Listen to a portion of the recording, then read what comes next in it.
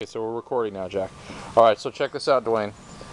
This is the snow speeder we made out of cardboard. It's kind of coming apart. We can scope it out. And this wing folded down on this side. That's the. it- This used to be the engine right here. It broke. There's Jack.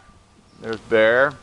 But then we added this uh, scooter mechanism, so now it can be ridden. And we're gonna do a, a ride here in just a second. You can see how it works. So, you ready to go, Jack? Yep. All right, let's do it.